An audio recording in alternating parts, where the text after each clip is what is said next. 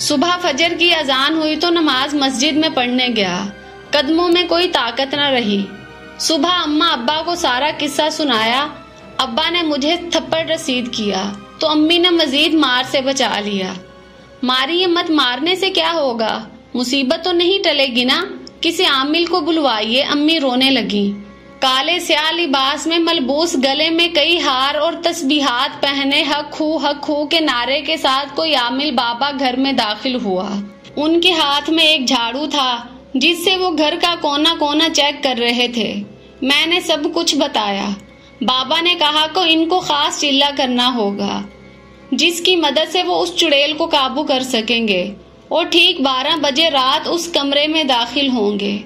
उन्होंने कुछ देर तक अपना खास कलाम पढ़ा और कहा, सिर्फ़ मैं अंदर जाऊँगा, कमरे में तुम लोगों को किसी खौफ की ज़रूरत नहीं है। अब मैं उस बदबख्त डाइन का खात्मा करके ही वापस लौटूँगा। तुम सब बस आयतल कुर्सी और कलाम पाक का विरद करते रहना। फिर बाबा जी कमरे में दाखिल हुए। तुम जो कोई भी हो, हाजिर हो। अब तुम्हारा बचना नामुमकिन है। तू मुझे कैद करेगा। चीखती हुई आवाज़ कमरे के चारों कोनों से आई। कमरा स्या पड़ गया। आलिम बाबा ने कलाम पाक पढ़ना शुरू कर दिया। कमरे में आग लगने लगी। बाबा ने अपने कलाम से आग बुझा दी। उसके बाद ज़मीन में एक बहुत बड़ा चीर आया और बाबा फिसले और पैरों के नीचे से फटी ज़मीन के अंदर धंस गए। बाबा जी की चीखों की आवाज़ हमें बाहर सुनाई दे रही थी। और हम आँखें बंद किए एक दूसरे का हाथ मजबूती से पकड़कर आयतल कुर्सी का विरद करते रहे। बाबा जी का डायनो ने बहुत बुरा हाल किया। उन्हें कमरे के एक कोने से घसीट कर दूसरे कोने में दे मारते, भागते हुए बाबा बाहर आए। सर और नाक से खून बह रहा था। वो बहुत ताकतवर चुड़ैल है। वो तुम सबका बुरा हाल करेगी। तुम्हारे लड़के ने बहुत बुरा किया है जो उससे प्यार मोहब्बत करता रहा। वो शैतान है शैतान। ये बात कहते हुए आलिम बाबा दरवाजे से बाहर निकलकर तेज़ी से भाग गए। अम्मी रो रही थी और अब्बू सख्त गुस्से में थे। अब्बू ने हम सबके गले में तावीज डाल दिए और फैसला किया कि सुबह की पहली किरण निकलते ही हम घर छोड़ देंगे। सुबह होते ही हमने सारा सामान पैक कर लिया था। सब घर से बाहर निकल गए। मैं भी दरवाजे से बाहर निकल रहा था कि यकदम मेरे पाँव से किसी ने मुझे शदीद कुवत के साथ खींचा और मैं घसीटता हुआ उसी कमरे के दरवाजे पर जा पहुँचा। मैं तुम्हें नहीं छोड़ूँगी, कभी नहीं। तुमने अपना खून मुझे ना पिलाकर बहुत बड़ी गलती कर दी है। तुम्हारा खून मेरी जवानी का राज था। अचानक अम्मी अब्बू ने आकर ज़ोर ज़ोर से कलाम पाक की सूरतें पढ़नी शुरू कर दी। कलाम पाक और गले के तावीज का असर काम कर गया, और वो चुड़ैल फ़ौरन गायब हो गई। बोझल कदमों के साथ हिम्मत करते हुए हम सब वहाँ से बाहर निकल आए। जू ही हम निकले, खौफनाक चीखती हुई आवाज़ें आने लगी। ऐसी आवाज़ें, जैसे कोई अपने करीबी के मरने पर नोहा की ना हो। दूसरे शहर आकर भी मेरी हालत में कुछ फ़र्क ना आया। दिन ब दिन मुझे महक अफरोज का चेहरा अपने पास बुलाता तो कभी उस खौफनाक चुड़ैल का चेहरा मेरी आँखों के सामने आता। मेरी बंद आँखें भी खुल जाती। दिन रात वो चुड़ैल मुझे ख्वार करने लगी। मुझे उससे इश्क करने की गलती की सजा मिल गई। मेरा चेहरा बदनुमा हो गया। बाल बढ़ गए। लोग मुझे पागल कहने लगे। मैं गलियों बाजारों में दौड़ता। लोगों से खौफजदा होता। शायद आने वाली ज़िंदगी भी इसी अजियत के संग गुजरती अगर मेरा दोस्त शमून मेरी मदद ना करता।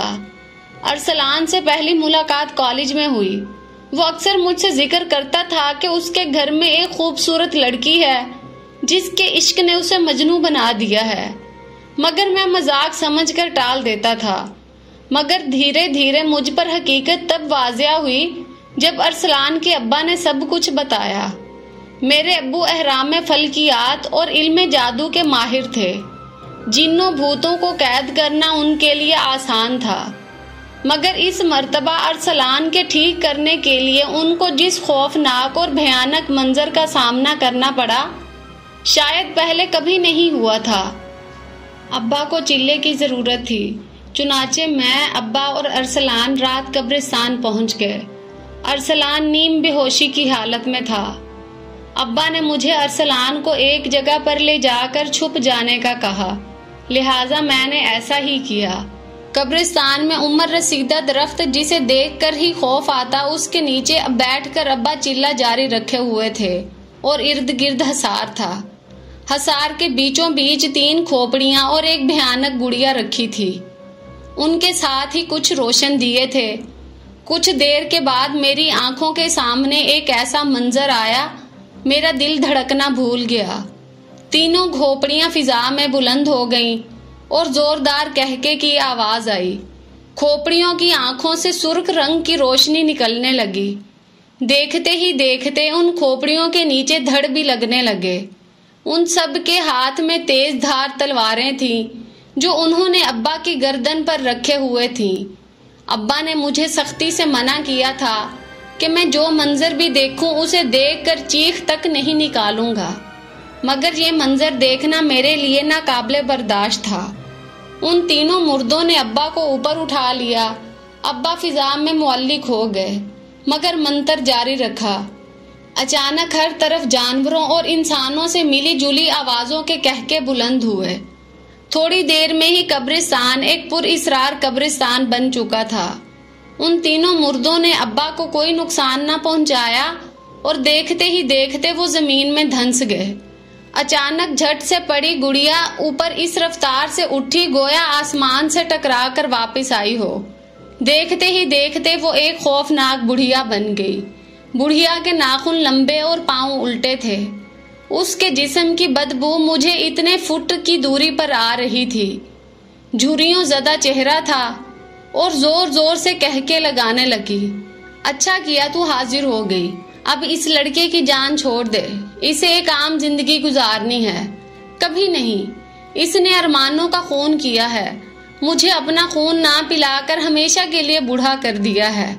इसे कभी माफ़ नहीं करूँगी। और तू इसे बचाने आया है। जा यहाँ से। वरना ज़िंदा नहीं छोड़ूँगी तुझे भी।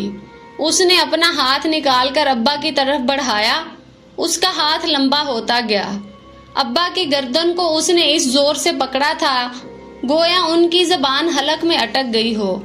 मेरी आँखों से आँसू रवा हो गए और मैंने अब्बा की बात ना मानकर गलती कर दी। अब्बा जी अब्बा जी मेरी आवाज़ में कपकपाहट थी। उस बुढ़िया ने हकारत और गुस्से से भरी नज़रों से मुझे देखा, नहीं छोड़ूँगी। उसने अब्बा को नीचे उतार कर मेरी तरफ़ बाजू बढ़ाया और मुझे शदीद कुवत के साथ पकड़कर हवा में लटका दिया। मेरी सांस बंद होने को थी। छोड़ दे इस बच्चे को और अरसलान को, अब्बा को और जोश आ गया। उसने अरसलान को भी हवा में लटका दिया। अब्बा ने अपना मंत्र तेज़ी से पढ़ना शुरू कर दिया। देखते ही देखते अब्बा के पास कांच की एक बड़ी शीशी आ गई। नहीं नहीं, ये शीशी दूर कर दो। छोड़ दो दोनों की जान, वरना मैं तुम्हें कैद कर दूँगा।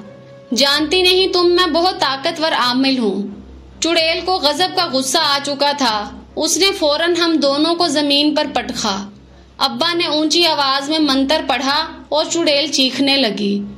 नहीं नहीं, उसकी चीख चारों तरफ़ फैल चुकी थी। अब्बा ने हर तरफ़ आग लगा दी।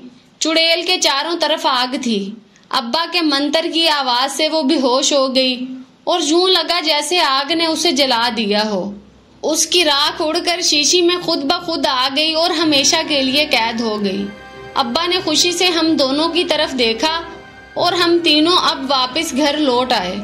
आज कितना अरसा बीत गया। अरसलान एक नॉर्मल ज़िंदगी गुजार रहा है।